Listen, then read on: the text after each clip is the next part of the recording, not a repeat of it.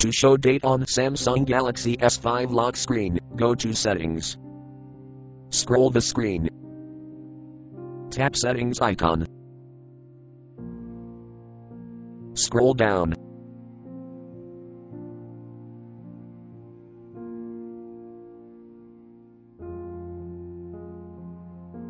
On Sound and Display, tap Lock Screen.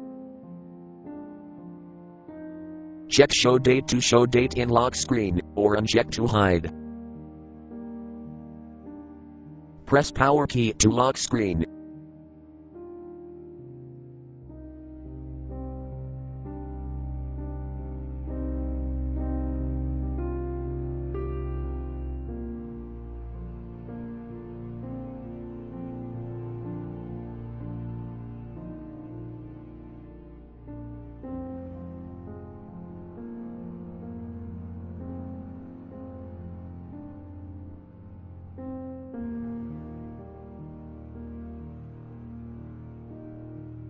Thank you for watching.